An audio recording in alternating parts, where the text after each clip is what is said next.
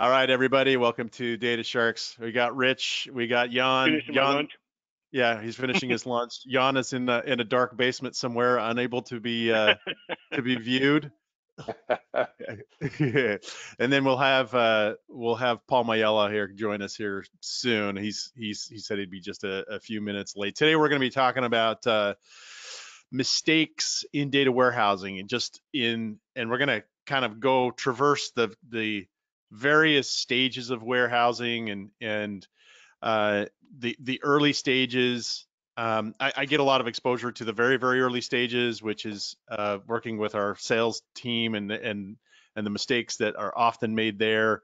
Um, and so I'll just kick off one mistake that I uh, that I know I've seen in the past, and that is uh, allowing the tools to drive the the narrative, right? So the client, um, you know, they, they're excited for this concept of a data warehouse. And so, well, what kind of tools are out there? And so they just start searching for tools, and then the tools are driving the narrative. Uh, and, and in many, I mean, I don't know how many times I've seen this where the the the architecture is just so insane just to Here's adapt. this really cool tool that builds this amazing chart that will do all kinds of things for you. Oh, let's build a data warehouse so we can use that. so so what ends up happening is we'll have our solution architects you know uh the the the IT or you know program management team internally will share their future state architecture with us and they'll they'll show us the the hammer and screw and you know all of the uh crazy things that they have planned and you kind of feel like you're having to walk that back right rich Absolutely. I mean, that, yeah, that happens all the time. I mean, yeah, And and the uh, what happens if if you have to implement it, uh, and we have run into this where it's like, guys, okay, we will implement this. I mean, how many times out of ten does it turn out that they end up saying, okay, I understand why we didn't want to do this? well, in my experience, it's 10 times out of 10. But, um, you know, and one of the interesting things that, that we'll see sometimes also is that, uh, you know, somebody will find this cool new little tool, this this cool thing that they want to, you know, new technology, new thing they want to play with, and and it's it's great until you get it into a production type environment, and Yeah. it's not it's not production ready. Um, you know, it, it can't support the volumes or it uh, that we're that we need to deal with, or um, you know, all of those types of things. So, you know, this kind of feeds into one of the big big issues that I see with with uh, data warehousing projects and, and the failure of the data warehousing projects. And it's, it's just, it's the whole planning phase, right? Why are we doing this? Um, you know, what are we trying to accomplish? Uh, you know, all of those types of things. Um, you don't spend the time up front uh, figuring out what are we trying to achieve with this, and then and then people wonder, you know, Why didn't it work out? why what got built isn't what uh, you know somebody in finance needed, or uh, you know the the consumers on the on the other end. So Well, and that think plays what- into it. Yeah, go ahead. Go ahead, Jan. I, I, I'm sorry. I, I was thinking, you know, what, what plays into that also is just sometimes uh, limited knowledge on the client's end of what a data warehouse really is. And Yeah. so, you, you know, you, you, we know exactly what we want to get out of this or what needs to be accomplished. Uh, but I think, uh, you know, sometimes the client has a different, a different idea and then it, it, things get derailed. I mean, what are some examples? Like, what what do clients or like uh, specifically the business side? Because IT, I mean, sometimes they don't even know what it is, but but the business side, what do sometimes they mistake it to be? I think from what I've seen uh, in, in in doing data warehousing, um, I, I think people get confused between operational versus uh, analytical, um, and they have seen operational type reporting, and they think that's what we're recreating.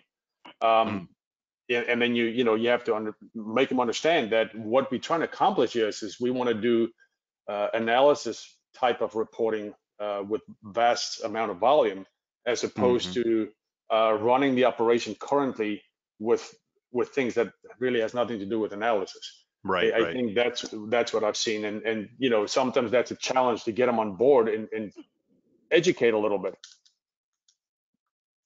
Yeah, I think Yeah. I think that the you know, often the the perception is that the data warehouse uh, also uh, this is just another one that the data warehouse is just going to be this giant dumping ground. You know that we're going to just put all the data in one place, and then that's and, and once you've accomplished that, mission accomplished. You know, and Right. that's the that's the data lake assumption too. So there's a bunch of different angles, um, you know, in, in terms of mistakes. Well, and that's kind of like we were talking about in the in the planning phase, right? The very if you want to have a successful project, you've got to understand what are your strategic business objectives, right? What are, why are we doing this? Uh, what are we trying to accomplish? You've got to have some some really clear um, insight into into where you know what are the things that you need to achieve. Otherwise, you're not going to know how to get there. One of the other things is, you know, when you talk about, you know, people understanding what a data, data warehouse is, um, you know, you get uh, get folks that read an article on the on the internet, and all of a sudden, you know, we're going out to design a data warehouse. One of the key things, and, and one of the reasons that data warehouse projects, data warehousing projects fail, is because you don't have the right resources. Yeah. Um, you think about the modeling of a data warehouse to accomplish what Jan's talking about, where we actually want to be able to do analysis. We all we want to be able to do some of these things that aren't just you know run a quick little operational report, which is just like a listing of transactions or something like that. Uh, if you want to be able to really take advantage of that, build that right, be able to do the analysis on that, you've got to have somebody that understands what's going on, understands all those principles of data warehousing, uh, the rules that are in place, and, and be able to to model that data and and create that in a in a way that really supports the objectives that you've got. Yeah. I mean, I don't know how many times I've I've said, he uh, "Hey, Paul, how you doing?" Paulie just joined us.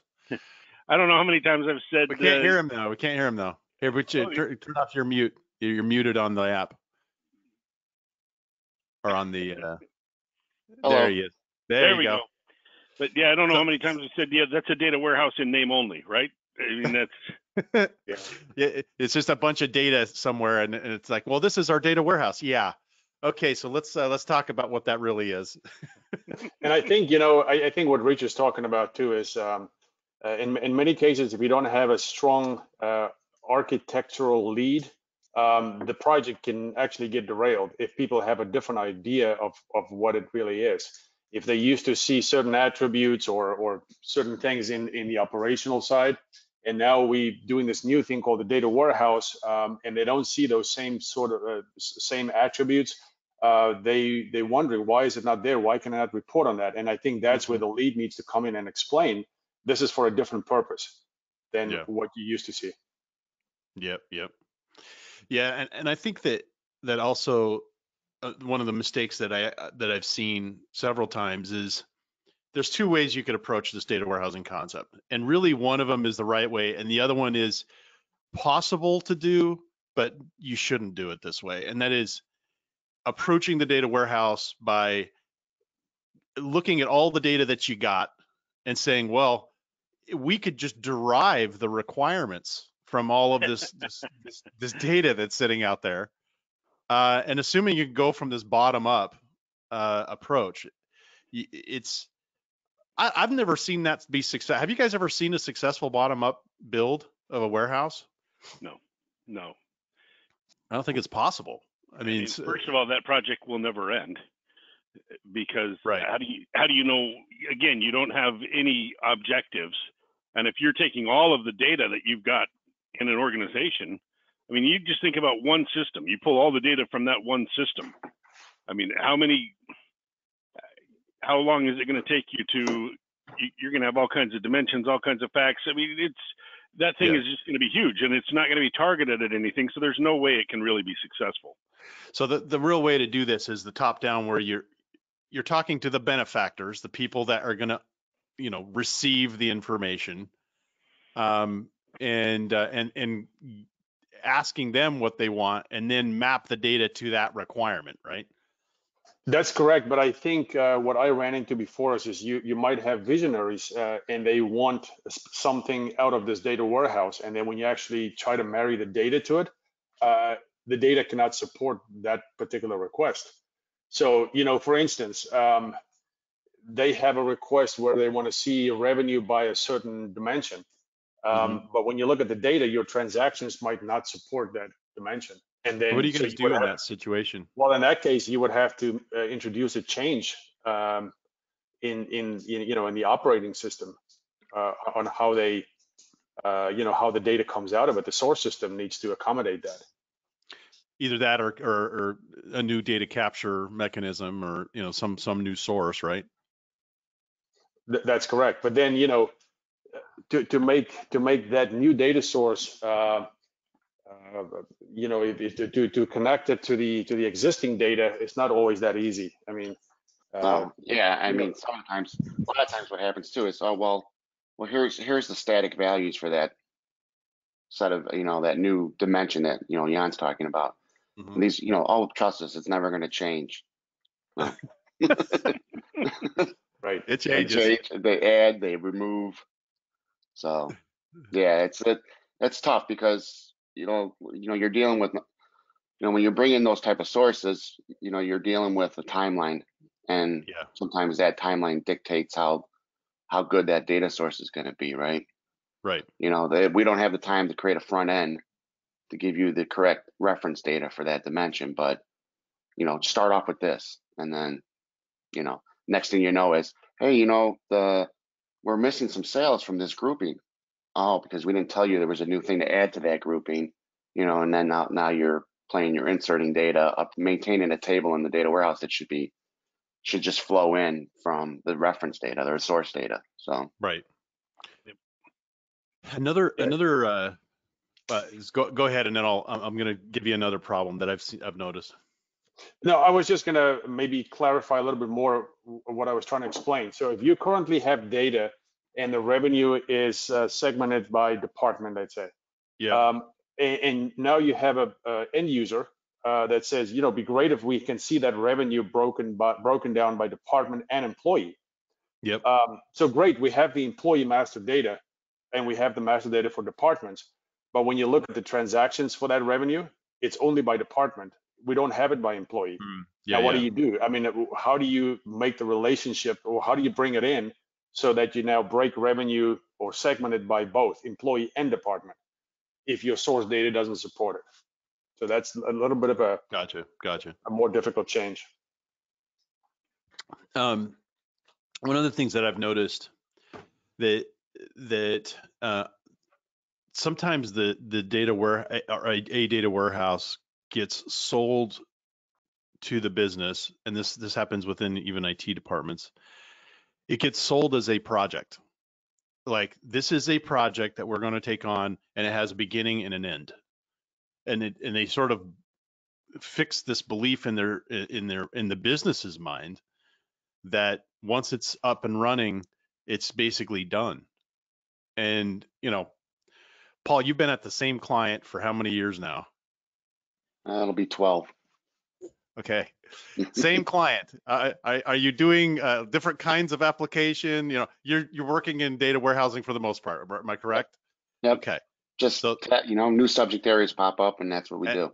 and they love him right they love him okay so it's not it's not like uh, here's here's the, the the point to to drive home that it is not a project it is a program you're creating a program within the organization that defines how we are going to turn data into information um, over the long run and i think i mean I don't know if you guys have how, how because you guys kind of have to you, you come and then you you got to go to your next engagement.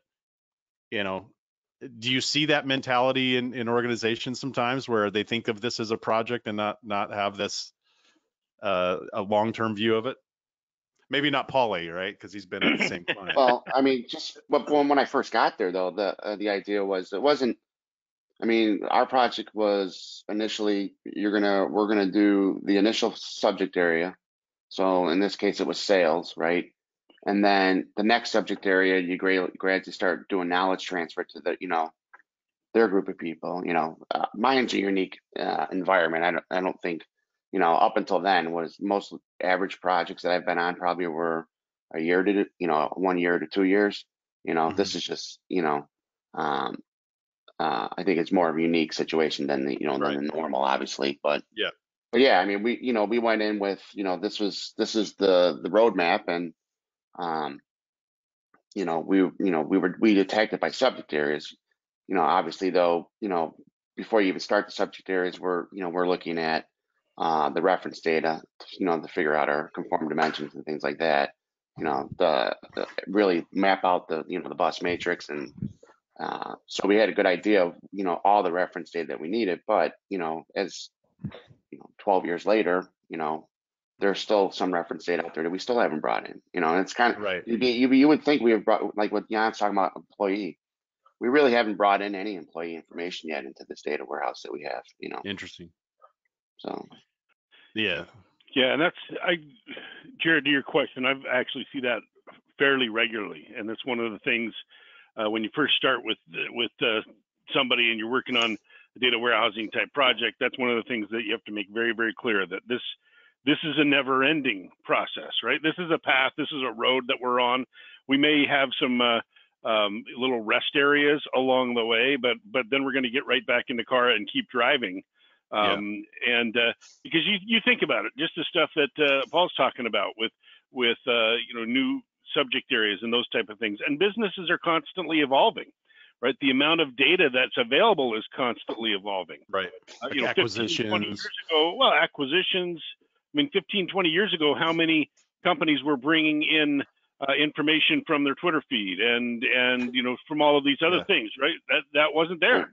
Yeah. How, all the IoT devices, all the it's it's the businesses are constantly changing, they're constantly growing and evolving, and their needs for information are going to continue to grow and evolve with that also. And so there's always going to be work to be done uh, in a data warehousing environment. So So here's a question. Let's say you're getting introduced to a client.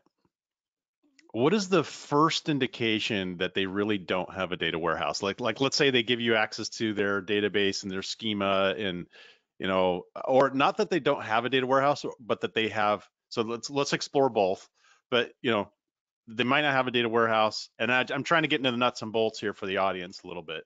Uh, what's the first indication they don't have a data warehouse, and what's the first indication uh, that if they have a data warehouse, it, it, it was not designed right. uh, there's one one that I love. Um, I like to go talk to the the users, the consumers, um, No, at the very that's- that's a beginning of a project. I like to go talk to the consumers, and and one of the things that you'll hear is we'll ask them, so how do you you how do you get data out of this? And oh, we've got a couple of canned reports, or we've got this dashboard. Do you get any of your own data? Well, we do, but it's difficult because if you want to look at it this way, then you have to go and do A, B, and C and D.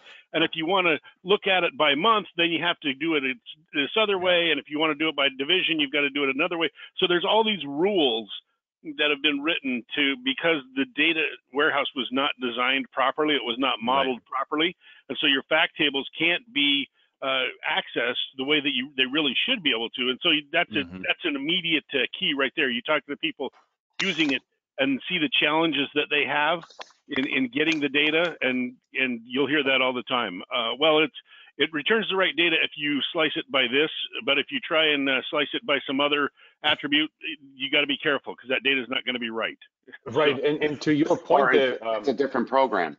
They'll have multiple programs that do the same set of information, but like Rich is saying, sliced differently.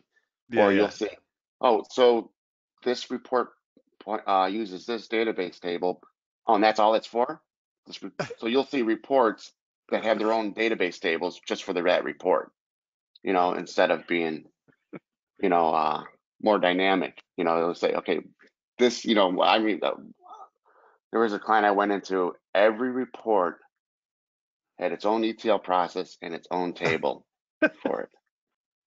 And I think both of you hit the same things that I've seen. So two classic examples uh, that I came across is um, uh, different stovepipes of data. So you know you have one department have their set of data and reports, and then the other one has the same type of information, maybe even the same dimension, maybe just sliced uh, with a few different attributes in it. So so that was one classic. The other one was when they have one fact table and they mixed grains. So they might have Mm. um, monthly information in it as well as daily information. And so, you know, you can actually get the information out of both, but um, you know, the monthly data could not support some of the attributes that the that the other uh, grain would support. So it, it, you know, so that's two classics that I've seen.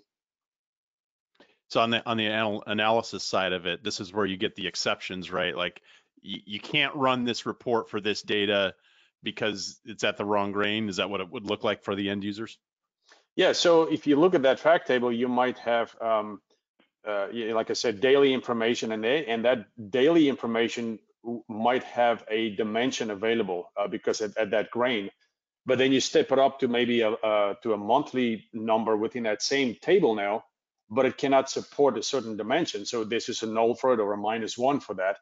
Uh, Yeah. But they can get the information out of there. But if we start roll things up within that fact table, none of it makes sense. Yeah, yeah. What what are some of the like if someone was to give you the schema of the, what they have in the ware, warehouse, what are some of the things that just like, you know, okay, this this either is or isn't a warehouse and or if it is, uh the guy didn't know the person didn't know what what they were doing.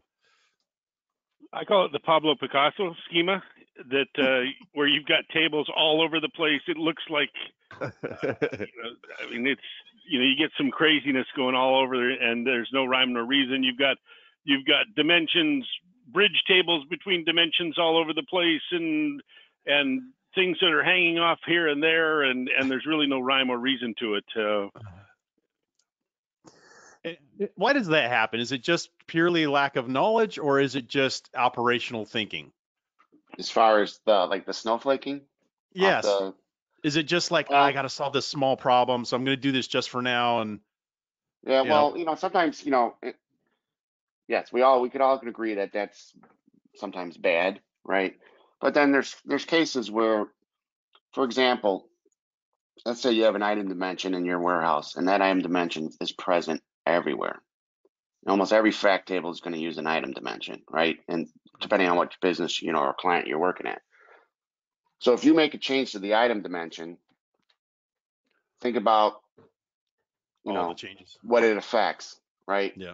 So sometimes, sometimes, if you know down the road, you know, let's for example, you know, you got let's say PIM's coming into, you know, in the is in the rear view, you know, not the rear view, but it's coming coming towards you, and you know because of PIM, like there's going to be massive changes that are going to happen to your, you know, to that item dimension, right? Yeah. They might even change. Just your natural key might even just change on the on the item dimension based on how they set that up. pro- Product information management. It's a it's a solution set. but keep going. Right, but I mean that that'll sometimes dictate. Okay, well, you know what? Right now, it's going to be an outrigger table because if we make a change to that item dimension, you know, it's going to require a lot of regression testing. You know. Well, and that's and that's okay, and that's acceptable. But I'm just saying, you, when you see it all over the place, and and it looks Yeah. like you know a bowl of spaghetti, um, like a, you know like a a transactional database you would expect for the entity relationship diagram for that. You know, that's that's a indicator that you may have a you may be dealing with a problem there. What would you say uh, w- w- if you were to kind of coach someone on the business side to be able to kind of ring the BS meter? Um, eh, how many dimensions do you think should a warehouse have? That's a I realize that's a piece of string question, but like how long is a piece of string? But but you know, eh, to, when should your BS meter start ringing? When uh, you know when you look at a, a uh, an implementation of how many dimensions a, a, a, a fact table has, you know, what, where should we be ranging? I think if it relates to a fact table, uh, not so much the data warehouse in, in total, but when you Sorry, not when the you look table, but the, but the, uh, the schema, the star schema. right, so the schema could have many dimensions. I you know I, I don't think you can really tell just from that. But if you look at how many dimensions attached to a fact table, Right, right. uh, I, I think when I I think I think Kimball even refers to that as a centipede. When you uh, start seeing you know 20, 22, uh, I think now you're getting uh, that that becomes a centipede. I think I don't know what you Yeah. guys think. Yeah, anything getting towards 20 and above makes me nervous when Yeah, I'm looking exactly. at that. So Yeah. Now to, to, to Yeah, the you- I mean, layperson, if what go does that back to, look like- like? Go ahead. Well, go we used to go back like the OLAP days when um, we used to build cubes and stuff. I mean, you'd have requests for ten plus dimensions, you're like, all right, well, you're, you're gonna get lost in the cube. when You start getting that many dimensions in there, right? You have to So- remind yourself where you're at in it. You know, it's like Right. I'm looking at it. Buy this. Buy this. Buy this. Buy this. Buy this. Buy this. And buy this. We're like, okay, for the majority of people, you're gonna use this cube, but you know what? If you really wanna go to those more dimensions, we'll let you drill through it, drill through to something else, that a more Yeah, yeah. detailed cube, but. Yeah, Um, So what what because we're, we're we're talking in like I mean this is this is like alien these are alien words to a lot of people and and this does get on YouTube. So you know what does that look like from an end user's perspective when there are too many dimensions? What what is the experience like for the end user when that happens? I would well, say. depends I'll go, go ahead, John.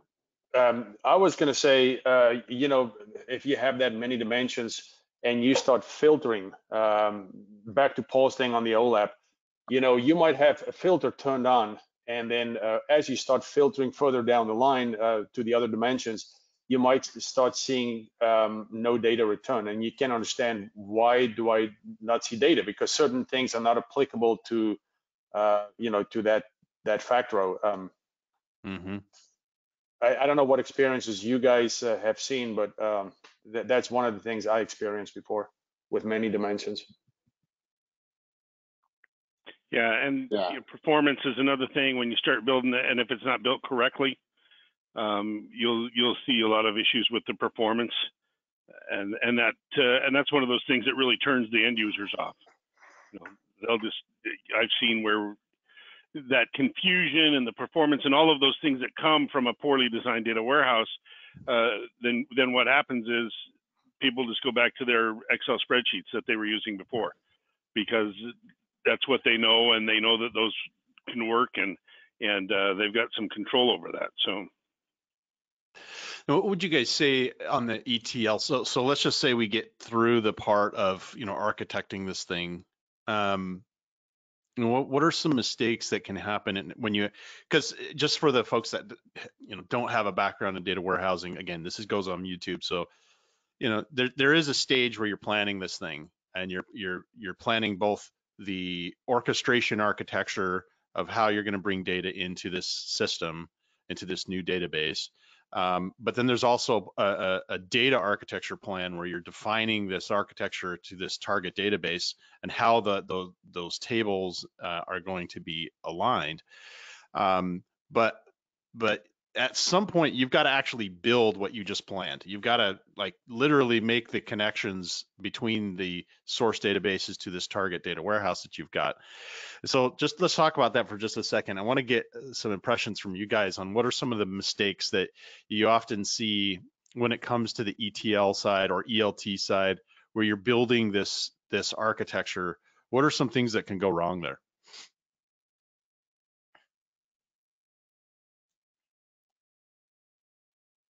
Um, I mean, I've seen places where, um, instead of bringing the whole table over, they're bringing over select columns. And then Mm. you get in the, then you get in the, the habit of, okay, now we got to rebuild the table. We got to add these columns that we, you know, if you build, if you bring the table over once, you know, that, it, it also, you know, it depends on obviously the size of the table and everything like that. But, you know, general rule of thumb, we usually bring over the full table. And uh, depending on what type of data it is, obviously, but um, I've seen that where they're constantly, well, we don't have that in staging. We got to go back and get it after you already staged the table. Right. So that again, for the layperson, you're having to go fetch this table from either an application database or something on the left, and you need to get that into your data warehouse on the right. And if you only get a few columns out of it, and then uh, and then just you know weeks months later, someone says, "Oh, well, I need this column now." Uh, now you got to go and go through all of that process when you could have just grabbed the entire table all at once in one single go. Uh, just grab all of the columns. And it's, it's, you know, especially if it's like reference data, you know, transactional data, okay, uh, you know, you know, depending on what you can store in your, you know, how much you want to keep it as an archive in your staging or, you know, you know, um, or you just clean out your staging, you know, your transactional staging every day when you bring in the new transactions. But as far as reference data, you're reading that table every day anyways, in most cases, right? Mhm. You know, unless you have some sort of streaming where you have changes streaming into your staging area. But for most part, if you're hitting a traditional relational database, you're you're you're you're selecting from that table as a whole every day, checking for change. Right, right. Anything else you, th- you can think of on the ETL side that, that you think is kind of the big mistakes are made? Because this is where the big spend is, by the way. Yeah, I mean, I've seen, you know, there's a couple things too. It's like, you know, for ex- I've seen, I've seen ETL developers put all their transformation logic in a view, right? Okay. And then not in the actual tool. So, you know, one, you know, one- once I go, all right, well, you know, the database is going to actually do churn that better than Informatica server would or any ETL server would, right? Um, you know, or you'll see them put in, you know, for example, if we're talking Informatica, you have overrides. So you put it, you put the override in the in the SQL override, and then when somebody's trying to troubleshoot the mapping, you're like, well, that's not what it's doing. Yeah. and then you yeah. gotta go, and then you end up like, all right, well, oh, he overrided the SQL in the source qualifier. So all of a sudden you're like, all right, now I don't understand what's going on. So sometimes it's not clear. Um, there should be, you know, um, better documentation on ETL. You know, Yeah. Yeah. So that, You so know- that people are aware. And it's interesting because that discussion is actually changing quite a bit in Yeah, the data definitely. warehousing space right now. The whole ETL and ELT, and and so there's there's a lot of things that are changing in that area. I mean, in the past, um, you know, I mean, the way we would do things is very different than the way they do things now. For example, if you're using like this cloud cloud uh, data estate, you know, it's it's dump everything into a landing zone. Just get it all in there Mhm. uh, in, in its raw format. And then we're going to use, most likely, we're going to use SQL and some orchestration uh, process to transform that data to move it into a uh, into an ODS like a data lake, and then into a, a dimensionally modeled data warehouse, or, or wherever we want to put that. And so, so it's it's it's kind of an interesting thing. Some of the sins of the past with ETL are Yeah. going away just because of the change in the way that we're doing things with with the ability to have uh, you know these cloud environments where we've got just um, unlimited compute and unlimited storage Yeah. but there are also new sins that are coming into play and things that you got to be careful of and and uh, and it's it's interesting so so it's it's one of those things where uh, you know I would say that for data warehousing you know one of the mistakes is not staying up to date with what's going on right yeah. Yeah. not keeping up to date with with the new tools, the, with the new environments, with with the new way of And doing that has things. changed so much just within the last four years. It's been insane the amount of change that's happened. You know, it's it's totally changed. I mean, well, take take for another example of a, of a huge mistake that we've been seeing with cloud data warehouses um, is is those blind updates. yep, exactly. I mean, talk talk about that for just a second. Like, explain what it is first for the lay audience, but then then kind of zero in Well- on what it well, what it what not to go into to too much detail, technical detail, but but in some of the cloud data warehouses or databases, the not um, you know the cloud data estates is what we like to call them. You know, data cloud. Uh, the way that they store the data is a little bit differently, and and so they they actually have where the data is unlike a SQL Server database or an Oracle database, where if you go in and write an update statement and you update uh, some data, it's actually going in and changing that record, and it's changing the value that it's storing in that record. In in a data cloud, a lot of times what's happening is you write an update to a column in a table. What happens is there is no change to that existing table. What we do is we actually a new row is actually inserted and and there's metadata that controls which one of those rows is the is the current row. And then what they'll do is they'll those prior rows will be kept in storage and kept available um, so that you can go back to that if you need to which is an amazing blessing. Uh, you don't have to spend all weekend because somebody wrote a bad update statement to to uh, restore a backup. But what happens is, is if you're updating a bunch of things, a blind update is what we talk about, which means you, you've got a, a change data capture tool or something like that that says, okay, I've got all this data, I'm just going to push it in, and and instead of checking to see if anything's really changed, if I've got that record existing there based on this business key, I'm just going to do an update to it because then I know that I've got the latest and greatest in my in my data warehouse. and that's And super so what common. happens is now we're our tables get fragmented. Uh, our storage costs are going up, and it's very, very common. And and it was never a problem before. Right. And how how uh I mean you we talked about this a couple weeks back, you know, how extreme can this problem get? It can get very extreme, and it's it's. Um, I mean, I'm seeing the interesting thing is that I'm seeing this with in multiple instances. It's not like it's just a one-off Yeah. uh, where where somebody has some code that's doing something weird in in, in one environment or another. I'm seeing a number of, of clients that are using cloud uh, data estates that have tables that have upwards of of um, you know 90 95 percent of the storage that's being used is all what we call that uh, that uh, uh, retention storage. It's it's Hmm. so you'll have a table that's got one terabyte of active data and you know 50 terabytes of retention data that's not being used because you were doing blind updates. So and then how does that play into the actual query speed itself? well, Like, and, and when you Doesn't it fragment that table so that all of a sudden it's got to scan way too much? you, yeah, you it, it leads to a lot of different things. There's table fragmentation, and then there's ways to get around that. You can you can reorganize those tables and cluster those tables, but there are costs that go along with that. So yeah, yeah, you got to pay compute for that.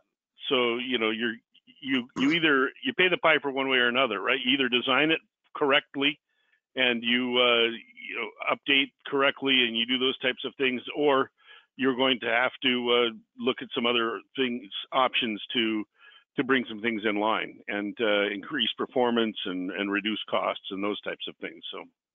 What is the possibility of, of doing periodic uh, uh, cleanups of, of the storage data that was that was retained as you as you described it? Well, that's the auto clustering, right? Yep, yeah, that's uh, auto clustering, and there are again there are a number of things to do. There are a number of ways to do it, and and depending on the cloud provider, that that some of that storage is going to it's going to fall off at the other end eventually. But again, uh, I guess the point is when we're talking about you know the mistakes in data warehousing um, is is that uh, again one of the mistakes is not staying up to date with the current technologies and what's going on around you because just because we did something 10 years ago uh, with a with a data warehouse um, doesn't mean that that's the right answer for the way that we want to do it today. Yeah, yeah. Well, and it's it's uh and if you're aware of some of these problems, the point is is that you don't have to rely on on you know expensive compute processes that are designed to automate the fix because you've already planned the architecture so that it doesn't have to kick in that fix. Um, so auto clustering, for example, in Snowflake is is a is a cool you know solution to this problem, but it's expensive. I mean, it re- it has to go and scan all of that the you know all of that redundancy and and clean it up, you know, and it's so it's an expensive process to be constantly running. And if you just designed it right to, to from the get go, then you don't even have to incur those expenses, right? So it's it's, it's you know it's interesting. Uh, cloud cloud data warehousing and, and poor design in cloud data warehousing uh, is expressed in cost. It's it literally you literally pay when you say pay the piper. There's real dollars in paying the piper. Like it's real money, and it's directly attributed to how much you pay for per query in uh, in a Snowflake deployment. I mean, I'm sure that's true like in uh, you know every other kind of deployment, um, but because you know for example, in a on-premise en- engagement, and we got all of our products on-premise, and we're not we're not using a cloud uh, warehouse. Poor design will express itself in terms of speed, uh, usually immediately, um, and and and that's and that's the biggest bulk part of it because you you can't get enough scale out of what you've what you've built. The problem is in Snowflake, scale is not an issue. You can always spend more money, you know. And so the scale is purely a budgetary item. It has nothing to do with hardware. Uh, you could just continue to buy and buy and buy. And so the the issue that we found is that when we go into to some of these deployments, because they have not designed correctly, uh, they are way overspending on their on their compute. Uh, you know, I'm sure that makes some Snowflake reps happy, uh, but but you know, it causes issues. Well, the thing of it is with like with Snowflake and and with any of these tools, the the compute's there, the- it's available, and and you can do that, and and yeah, you can spend more, but but it's going to be you're going to be more successful if you build your data warehouse using the correct principles. You build it the right way, you design it the right way, you understand all of these things, and and uh, try not to make these mistakes that we're talking about, and then you're going to not only have a, an amazingly performant data warehouse that that uh, provides and, and meets all the objectives for the business, but you're going to be able to do it in a cost-effective way. I mean, when you're in the model of you pay for what you use, then then that's great. But let's make sure that what we're using, we're using it efficiently and we're using it wisely, um, and and not just going crazy because we can. So. Have you guys seen any organizational mistakes uh, around warehousing where it, it- literally the structure of how uh, the teams work with each other, where it's it's just not conducive to making it work? In other, uh, like I'll give you an example. We we had a I remember a project where the architecture team, the, the team that designed the architecture, was a completely different contractor to the team that was doing the ETL. Uh, So they they were like there was no solid communication between the two. Like th- they were they're actually competing with each other inside the account, trying to make each other look bad during the the engagement. Have you Yeah, guys seen anything like that? Yeah. One of the things that I've seen when you talk about organizational issues with with data warehousing type projects is is that it's not being driven by the right part of the organization, and we kind of led to that. I uh, a data warehousing project is not an IT project. It's it's Yeah. not a technical project. It's a business project, and it needs to be driven by the business. Um, obviously, you need the correct technical resources, but but it's I mean, and, and I don't know how many times I've seen data warehousing projects and products that uh, it's all uh, owned and sponsored and, and pushed by the IT department. And and when you when that happens, it's it's because they're tired of of creating all these ad hoc reports every time somebody needs something. Yeah, so yeah. somebody comes up with this idea and says, "Well, let's build an enterprise data warehouse," and then we'll give that to them, and that never it never works. It it never actually gives the results that they actually need, and we've created more problems. So it's it's got to be you know the right person directing, the right group directing this from an organizational perspective. I don't know, Paul and Jan, if you guys have seen some similar things to that. I think I've been fortunate uh, that uh, you know most of my projects are within one organization. You know, it's typically us going in with our folks. Uh, but Paul, I don't know what's what's your experience. Well, just going back to what you, you were saying, Jared, it's, I mean, I've been in a uh, client where they had contracted out the ETL developer. And they had uh, contracted out the, the, the consulting firm that was doing the data modeling. And then they had another contractor that was overseeing both of them. And we had to come in uh, and start working on the ETL, and it was just nothing but a mess to get one person, you know, because you know when you have that, They're all- somebody's going to get offended, Yeah. you know, especially when you're coming in there and you're like, why are you doing it this way? You know, you you know, you look at it and you're like, and then all of a sudden they just get nothing but pushback. And you got the one group doesn't want to work with you because you're taking over some of their business, and it, you know, um, and the other thing too is like, you know, with the, you know, I've seen, you know, oh, hey, we need this new data. Let's throw it in the data warehouse. Well, does Yeah. it belong there? You know, you know, you end up.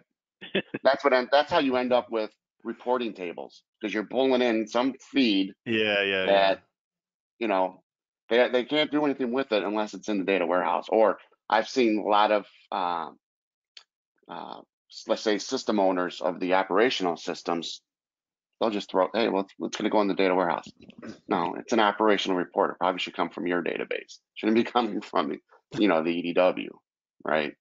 So yeah, So- that's that's always kind of like you know that's like another thing you'll see like you know, um, the types of reporting that's coming out of the EDW too. It will tell Yeah, you, okay, you know, this is just Well, uh, this is one of the things that I've been thinking about, and it, it's something that I think we could do better at Intricity, uh, and and it has to do with uh, sort of evangelizing the solution that's been built. You know, one of the one of the challenges in being on the consulting side is that you know you kind of you kind of you're you're you go into this head first into a into a project. It's a program that you're starting basically, but you know you're there to get the you know to, to act as a wedge to get the prod the, the program off the road and then and then when you're when you're done they'll move you on just like we talked about in our last uh, uh, data shark. You know you're constantly moving to new projects. So we don't really get to see um, the evangelizing of the solution. Now now paul you're a, you're a unique case because you have and and i i'd like to hear from you how did i mean without telling the client name and stuff but how did that process work? How did you how did it get out there? You know what were some of the strategies to to get it there? Well, uh, to be honest with you, it, it took, I would say it took um, a couple years before it became everybody wanted something with, out of the EDW, right? Or wanted part of the EDW, right? You know, when we first like first thing with the subject area was sales, and obviously the first one, the first subject area is going to take obviously the longest because you're not just building starting yeah. sales, you're you're building, like I said, conform dimensions and things like that. Um, so it was kind of like you know, our, we focused on a specific group, you know, and we said, okay, the first set of reporting that's going to come out of the EDW is going to be for this group, right? And then, you know, you have success stories there. You know, obviously, there's you're you're it, you're hoping that the most cases you're improving their business process, right? Or you're improving Yeah, their yeah. day-to-day life, right? You know, you've all heard the stories. Well, I got to pull this data from here. I got to put it in an Excel spreadsheet. then I got to go get this data over here and put it in Excel. And you find all these. Well, this is I'm running all my decisions based on this spreadsheet, and the spreadsheet it's got like 50 tabs, and it's got you know half of the tabs are for just for data dumps that go inside there, and then they're building you know whatever they're reporting inside of that spreadsheet.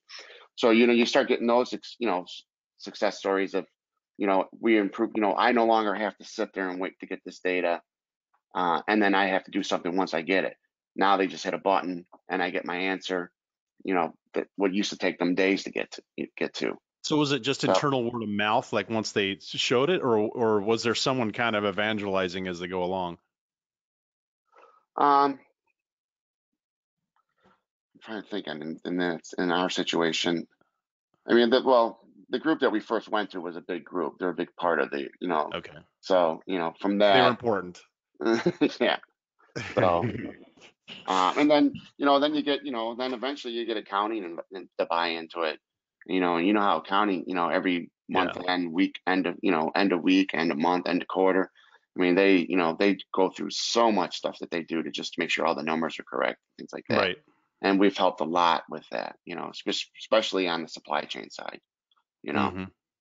I think once you get to the point where um, the value is actually realized, that's when you when you uh, when you get that switch. I, I'm on a on a project, uh, been on that project for the last four years, and I think in the beginning it was a struggle as well. Uh, everybody knew we had a data warehouse and and things eventually will come out of there. But I think once people uh, saw the value and that the data is consistent and it can be trusted, I think uh, that's when the switch occurred, where uh, Mm. people are very enthusiastic and they want more out of it. So you know, it's a it's an ongoing thing, similar to Paul's situation. Um, you know, where you have an enterprise data warehouse and they want everything to come from it because So it can be almost, trusted. it it almost sounds like when we go into these things, you almost have to set the expectation with the with the client that there's going to be this sort of there's going to be this point where um, it's going to we're going to it's going to be kind of frustrating because we don't have this completed yet. You know, there's time that has to go. We have to build this, um, and and there's going to be this this sudden change that will occur where uh, now you're getting value out of it, uh, and uh, and then you'll and, and then you're going to start really expanding it.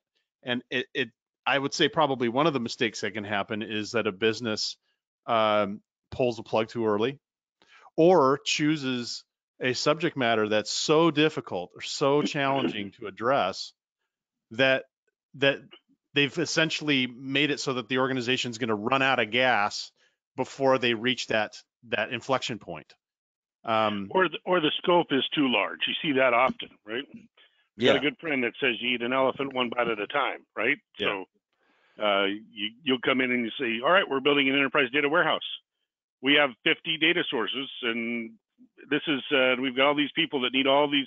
Here's the 300 uh, reports that that they need out of this. So let's go build Yeah. it.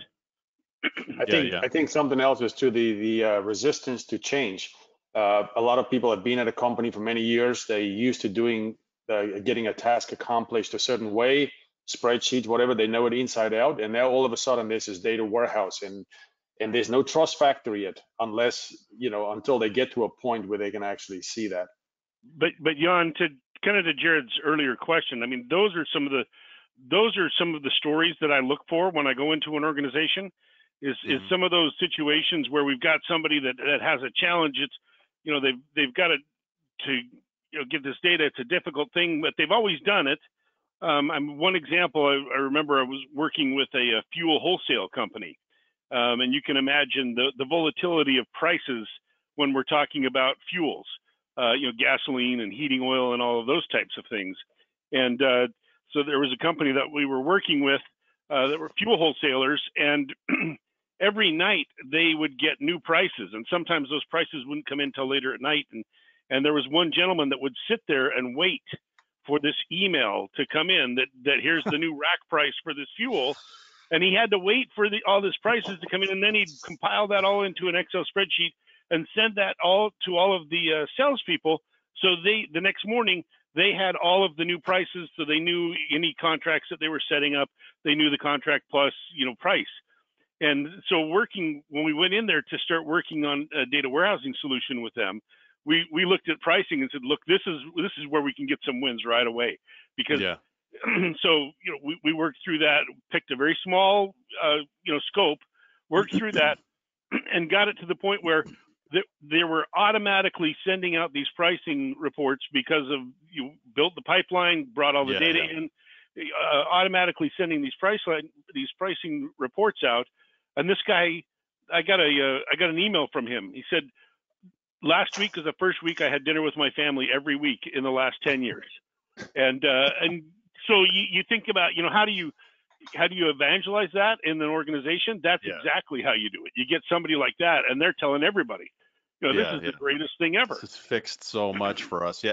You got to really explore that with the company. And I mean, this is why when you're doing a strategy, you've got to you've got to interview the business. Um, I think that's another mistake that often, you know, we see this a lot where uh, we're talking to IT professionals and they're asking us like, okay, so who do you need to interview? And we'll start saying, well, who are the business process owners? Who owns the business process? And they'll rattle off to us, well, here's our IT business analysts that support those business processes. And, and, and it's like, we're not there yet, guys. We need to talk to those people. And, and then, you know, sometimes they get afraid that, well, you're going to talk to these people that are, you know, sort of our masters. Why do you want to, why would you need to talk to them? Because we already do. And this is the reason why is because they'll tell us things they will not tell you.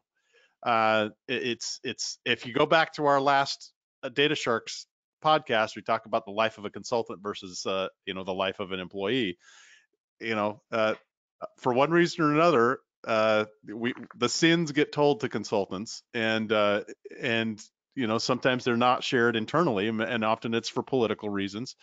But because of that, uh, if if you're you know bringing bringing on a team you want them to meet with the business because those are the wins uh th- those wins that you're talking about that are going to be so impactful that they'll carry the rest of the project forward um the the the, the momentum of it will bring uh you know the, the word of mouth and whatnot uh internally there's a there's a couple of other things that we can do to do internal especially the turnaround, eventually. especially the turnaround from the request, right? So Yeah. you know, not all. I'm not going to say all clients are like this, but uh, you know, you know, uh, back in you know before the data warehouse, this uh, business would want a, a slice of data or want to look at data a certain way. It would take months for them Yeah. to get it, right? And then all of a sudden, well, okay, we just asked the data warehouse team or the BI team, and they created this report for us within a couple of weeks and we're off and running. You know, and that's how everybody's, you know, another way of, you know, word of mouth travels Yeah, is yeah. because of this. You know, you're providing something that they couldn't get before. It was a frustration. You know, and these these business folk people are telling you their the sins is because they're frustrated with the IT group, most likely. Yeah, yeah. Right. And then, And and, it's the one nice part know, is, reason or the other. The IT, you know, they're bogged down. You know, with their you know other stuff, right? That's the whole point of the data warehouse is to to relieve that off the IT team and let the Mhm. business write the reports. You know, and then you start, you know, in my experience, you don't see it a lot, but there's always supposed to be that super user in each of these Yeah. business groups, right? And you, you're you're blessed if you actually get some of those in some of these groups where they're off and running and they're creating stuff. But most of the time, it's the you know it's the BI team that's still creating all these reports. yeah, know, yeah. Because sometimes, and that's a whole nother topic is, you know, okay, we built this data warehouse. Now we have this metadata layer on top of it. Oh my God, where do I pull from? Where do I look at? You know, you know, Yeah, they, yeah. they can get real messy. You know, Yes, yes. Well, that is the whole, it it gets into the cultural aspect of the company. I mean, do they, how are they organized and does the, who reports to who? Does the business have sort of liaisons? It- That's a, every company has sort of their own take on that. But, um, so, so Jan, did you have fun? Yeah, no, that this is this is great. Yeah, thanks for We'll get them on camera next time. Yeah, Uh, we'll send you some lighting for next time. Or Jan. so up, Jan. I want to have to dress up and, and get ready for this next time. My camera is just not ready today. All right. Well, very good, folks. I appreciate you you jumping on, Paul and Rich and Jan. Thank you for uh, for joining me, and uh, we'll catch you guys uh, next week. Thanks so much. Have an excellent day. easy. Have a good one. All right. Take care. All right. Bye.